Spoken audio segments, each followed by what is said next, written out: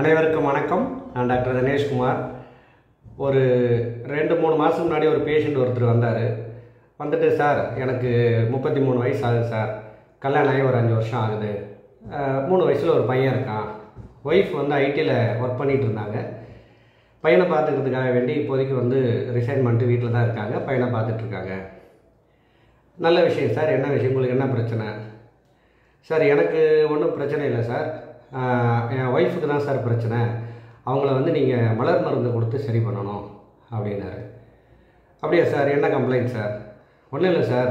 அவங்க வந்து ரொம்ப ஆக்டிவான ஆள். என்னை விட நான் வந்து கொஞ்சம் சுமாரான கலரு நான் கொஞ்சம் சுமாராக தான் படிச்சிருக்கேன் பிஸ்னஸ் பண்ணிகிட்டு இருக்கேன். அவங்க ஐடியில் வேலையில் இருக்காங்க. ஒரு நல்ல ஒரு சொஃபஸ்டிகேட்டடான லைஃப் வாழ்ந்தவங்க. கொஞ்சம் மாடர்னான ஆள்.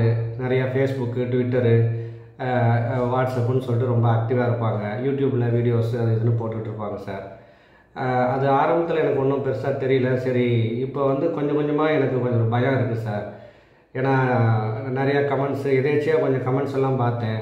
நீங்கள் ரொம்ப அழகாக இருக்கீங்க மேடம் அப்படின்னு சொல்லிட்டு நிறைய வர்ணனை எல்லாம் பண்ணிகிட்டு இருந்தாங்க. இவங்களும் வந்து அதுக்கு லைக் எல்லாம் போட்டுட்ருந்தாங்க சார் எனக்கு கொஞ்சம் பயமாக இருக்குது சார் நான் வந்து கொஞ்சம் பசிவான ஆள் சார் ஏன்னா இந்த மாதிரி லைஃப்லாம் இந்த மாதிரி மனைவியெல்லாம் எனக்கு கிடைக்கிறதுக்கு நான் கொடுத்து வச்சுருக்கணும். எங்கே என்னை விட்டு அவங்க போயிடுவாங்களோன்னு பயமாக இருக்குது எங்கிட்ட நல்லா தான் நடந்துக்கிறாங்க குழந்தைங்க நல்லா தான் பார்த்துக்கிறாங்க அம்மா அப்பாக்கிட்டையும் நல்லா தான் நடந்துக்கிறாங்க சார் இருந்தாலும் எனக்கு ஒரு பயம் இருந்துக்கிட்டே இருக்குது ஏன்னா இன்றைக்கி நடக்கிறதெல்லாம் பார்த்தா கொஞ்சம் பயமாக இருக்குது சார் நியூஸ் பேப்பர் அது இதுன்னு பார்க்கும்போது கொஞ்சம் பயமாக இருக்குது சார் அதனால் வந்து அவங்க அதெல்லாம் கொஞ்சம் அதிகமாக பார்க்காத மாதிரி நீங்கள் மருந்து கொடுத்து கொஞ்சம் மனசை மாற்றணும் சார் ஏன்னா ரொம்ப அவங்க மேலே பசிவாக இருக்கேன் சார் அப்படின்னாரு. எனக்கு டக்குன்னு திண்டுக்கல் சாரதின்னு சொல்லிட்டு கருணாஸ் நடித்த படம் தாங்க ஞாபகம் வந்தது. ஏன்னா அவர் கொஞ்சம் கலர் கம்மி. கார்த்திகா நல்ல வெள்ளை கலரு கல்யாணம் பண்ணிக்குவார். ரொம்ப ஆசை ஆசையாக கல்யாணம் பண்ணிக்குவார். பண்ணிக்கிட்டு பார்த்தீங்கன்னா அதுக்கப்புறம் கொஞ்சம் கொஞ்சமாக வந்து எங்கே அவங்க தன்னை விட்டு போயிடுவாங்களோ தன்னை விட வேறு யாருக்காவது வந்து முக்கியத்துவம் கொடுத்துருவாங்களோன்னு சொல்லிட்டு ரொம்ப பயப்படுவார். பார்த்து பார்த்து அது ரொம்ப காமெடியாக கொண்டு போயிருப்பாங்க. ஒரு நல்ல ஒரு சைக்கலாஜிக்கல் ப்ராப்ளத்தை ரொம்ப காமெடியாக கொண்டு போயிருப்பார். ரெண்டாவது ஒரு கட்டத்தில் வந்து அவருடைய மனநிலைமை அவருடைய குணநிலை எல்லாமே மாறி ரொம்ப ஒரு பைத்தியம் பிடிச்ச மாதிரி ஆயிடுவார். அதுக்கப்புறம் கிளைமாக்ஸில் எல்லாம் வந்து நல்லபடியாக எல்லாம் முடிஞ்சிடும் ஒரு நல்ல அருமையான படம். அதாவது ரொம்ப பொசசிவ் எனக்கு எனக்கு கிடைச்ச பொருள். இந்த பொருள் வந்து என்னை கைவிட்டு போயிடக்கூடாது. என்னை விட்டு நழுவிடக்கூடாது அப்படிங்கிறது தான் அந்த பொசிவ்னஸ் ஸோ அந்த பொசிவ்னஸை ரொம்ப அழகாக எக்ஸ்பிளைன் பண்ணியிருப்பார் அந்த படத்தில். அது எந்த அளவுக்கு ஒரு மனுஷனை மாற்றுதுங்கிறதையும் சொல்லியிருப்பாங்க. எனக்கு டக்குன்னு அந்த படம் தான் ஞாபகம் வந்தது. அப்புறம் அவர்கிட்ட சொன்னேன் சார் அவங்களுக்கு கண்டிப்பாக உங்கள் ஒய்ஃபுக்கு மருந்து கொடுத்து அந்த பழக்க வழக்கத்தை குறைக்கலாம். அதுக்கு முன்னாடி எனக்கு ஒரு ஹெல்ப் பண்ணணும் நீங்கள் என்ன சார்? சொல்லுங்கள் சார்.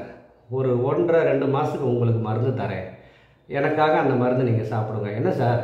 எனக்கு பிரச்சனைங்கிறீங்களா? சார் இல்லை சார். என் மேலே நம்பிக்கை இருக்குல்ல. ஒரு ஒன்றரை மாதம் நீங்கள் சாப்பிடுங்க. முதல்ல உங்களுடைய டென்ஷன்லாம் கொஞ்சம் குறைச்சிக்கலாம். அதுக்கப்புறம் நம்ம அவங்களுக்கு மருந்து தரலாம். அப்படின்னு சொன்ன உடனே சரி சார் நீங்கள் சொல்கிறீங்க நான் எதையும் மறுக்கலை அப்படின்னு சொல்லிட்டு மருந்து வாங்கிட்டு போனார். அவருக்கு நான் ஒரு மலர் மருந்து தான் கொடுத்தேன். அது என்னங்கிறது பிறகு சொல்கிறேன் அதுக்கப்புறம் ஒரு ரெண்டு மாதம் கழித்து அவர் வந்தார். வந்துட்டு எப்படி சார் இருக்கீங்க? அப்படின்னு உங்கள் ஒய்ஃபுக்கு மருந்து கொடுத்துடலாமா சார்? அப்படின்னு கேட்ட உடனே சார் இல்லை சார் இல்லை சார் வேணாம் சார். அவங்க கேஷுவலாக தான் சார் இருக்காங்க. நான் தான் சார் குழப்பிக்கிட்டேன். அவங்களுக்கு தெரியும் சார் என்ன லிமிட்டு யார்கிட்ட எப்படி வச்சுக்கணும் என்னங்கிறதெல்லாம் அவங்களுக்கு தெரியுது சார். எனக்கு என்னென்னா நம்ம எனக்கு ஒரு ஆசை அன்பு அதிகம் சார்.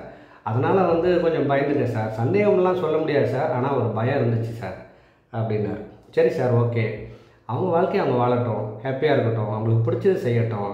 ஏன்னா வேலையெல்லாம் விட்டுட்டு குழந்தைய பார்த்துக்கிறாங்க. அவங்களுக்கு நம்ம மரியாதை தரணும் சார். அவங்களுக்கெல்லாம் ஒன்றும் மருந்து வேணாம் சார். ஆனால் எனக்கு கொடுத்த மருந்து உண்மையிலேயே என் மனசை மாற்றிடுச்சு சார். ரொம்ப நன்றி சார் அப்படின்னு சொல்லிட்டு போனாருங்க. இந்த பொசிசிவ்னஸ்ங்கிறது வந்து குழந்தையிலிருந்தே இருக்குது ஒரு குழந்த ஒரு பொம்மை ஒன்று கையில் வச்சுருக்குன்னா பக்கத்து வீட்டு குழந்தை வந்து அந்த பொம்மையை தராது.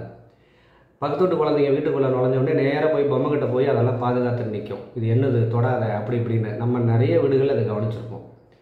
அதேமாதிரி அதுக்கு தம்பி பாப்பாவோ ஒரு தங்கச்சி பாப்பாவோ பிறந்ததுன்னா அது அது மேலே வந்து இயல்பாகவே பேரண்ட்ஸோட கிட்ட பேரண்ட்ஸோடைய அட்டென்ஷன் வந்து கொஞ்சம் அதிகமாக இருக்குங்கிறதுனால இது வந்து அட்டென்ஷன் சீக்கிங் அதாவது தன்னை வந்து கவனிக்கணுங்கிறதுக்காக அந்த குழந்தை அடிக்கடி அடம் பிடிக்கிறது அழுகிறது அந்த மாதிரிலாம் வந்து பண்ணுறத நம்ம பார்த்துருப்போம். அதேமாரி லவ்வர்ஸ் லவ் பண்ணுறாங்கன்னு வச்சுக்கலாமே. லவ் பண்ணால் என்ன பண்ணுவாங்க? கொஞ்ச நாள் வந்து அவங்க பேர் பேர் வந்து பச்சை குத்திக்கிறது. உன் பேரை நான் குத்திக்கிறேன் என் பேரை நீ குத்திக்கோங்கிறது. ஒரு சின்ன சண்டை வந்தால் கூட கையை கிழிச்சிக்கிறது. கேட்டால் அவங்க மேலே நான் ரொம்ப பசிவ்னு சொல்லிக்கிறது. நீ யாருக்கு கால் பண்ண?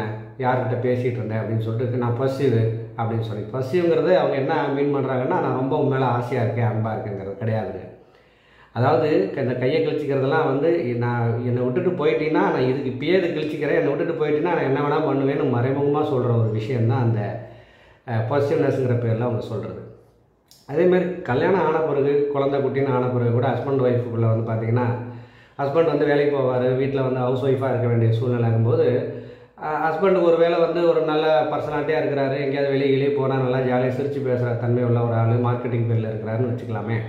அப்போ வந்து ஒய்ஃபுக்கு வந்து ஒரு பயம் இருக்கும். இந்த ஆள் பாட்டுக்கு பேசுவான் ஏதாவது ஒன்று மா மாட்டிக்கிச்சுன்னா என்ன பண்ணுறது இவன் கேரக்டர் இதை மாறிட்டா என்ன பண்ணுறது அப்படின்னு சொல்லிட்டு எப்பயுமே ஒரு ஒரு அட்டென்ஷனோடு இருப்பாங்க. அதே மாதிரி அடிக்கடி வந்து தன்னை கவனிச்சுக்கணுங்கிறதுக்காக எனக்கு அது சரியில்லை உடம்பு சரியில்லை அது சரியில்லை இங்கே கூப்பிட்டு போங்க அங்கே கூப்பிட்டு போங்கன்னு சொல்லிட்டு ஒரு இது பண்ணிக்கிட்டே இருப்பாங்க. என்னென்னா தன்னை வந்து அட்டென்ஷன் தன் மேலே ஒரு அட்டென்ஷன் வைக்கணுங்கிறதுக்காக. பேரண்ட்ஸ் அப்படி தான் கல்யாணம் ஆகி கல்யாணம் இப்போ மகன் வள ஒரே ஒரு மகனாக இருப்பான் கல்யாணம் பண்ணி கொடுத்துருவாங்க. ம மருமக வீட்டுக்கு வந்துடும் இவங்களுக்கு என்னென்னா மகன் வந்து மக பின்னாடியே போயிட மருமக பின்னாடியே போயிட்டா என்ன பண்ணுறது நம்மளை கை விட்டுட்டா என்ன பண்ணுறதுங்கிறதுக்காக பையன்கிட்ட வந்து வலு வலுக்கட்டாயமாக நிறைய பேசுறது. அவனுடைய டைமை நிறைய எடுத்துக்கிறது. எங்கேயாவது போனால் கூட நாங்களும் வரேன்னு சொல்கிறது ஸோ இதெல்லாம் வந்து பாசிட்டிவ்னஸ் தான். எல்லாமே இது இது சின்ன சின்ன விஷயம். நம்ம காலேஜில் நிறைய அந்த மாதிரி பார்த்துருப்போம். அதெல்லாம் ஒரு பாசிட்டிவ்னஸ் தான்.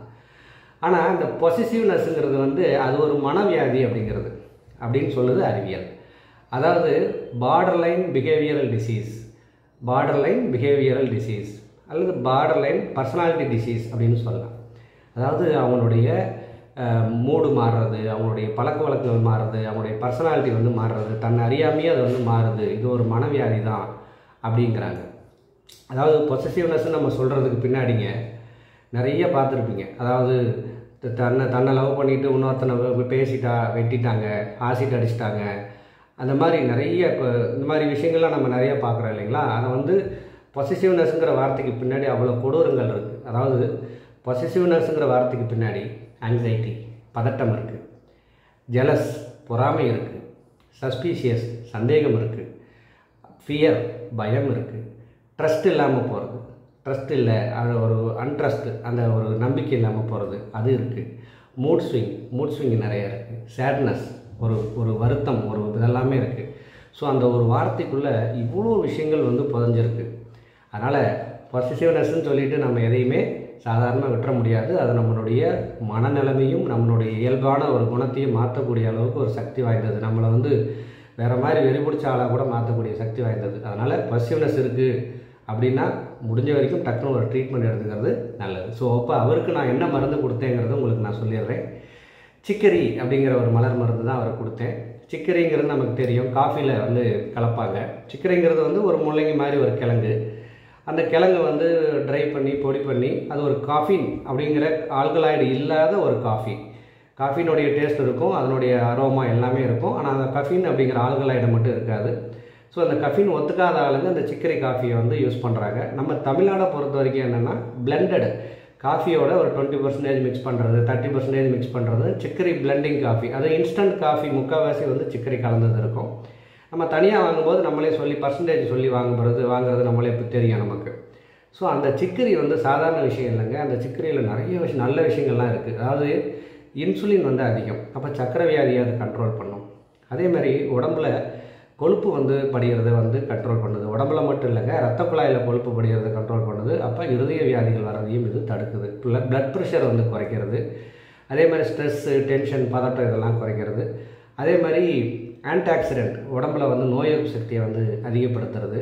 அதே மாதிரி மோஷன் ஃப்ரீயாக போகிறதுக்கான உதவி பண்ணுது. இப்படி சிக்கரையில் வந்து நிறைய நல்ல விஷயங்கள்லாம் இருக்குது குறிப்பாக சக்கரை வியாதிக்கு ரொம்ப நல்ல ஒரு பொருள் வந்து சிக்கரை அந்த சிக்கரையினுடைய மலர் அதிலிருந்து எடுக்கிறது தான் அந்த சிக்கரைங்கிற மலர் மருந்து.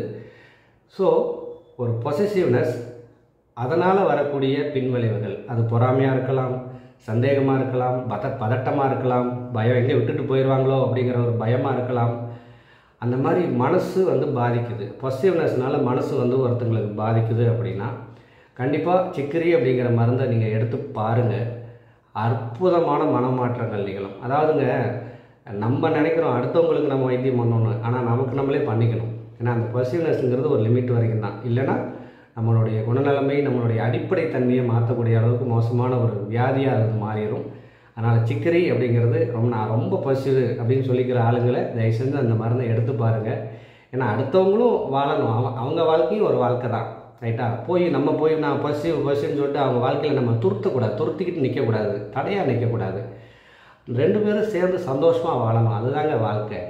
நான் எனக்கு உன்னை ரொம்ப பிடிக்கும். நான் சொல்கிற மாதிரி தான் நீ கேட்கணும். நான் சொல்கிறது தான் நீ செய்யணும். அப்படிங்கிறதெல்லாம் வந்து ஒரு வன்முறை தான். ஒரு வன்முறையை நம்ம திணிக்கிறோம் அவங்க மேலே. அது தப்புங்க. அதனால் சிக்கரைங்கிறது இந்த பசிவ்னஸுக்கு ரொம்ப நல்ல மருந்து. தயவு செஞ்சு எடுத்துக்கோங்க. நன்றி.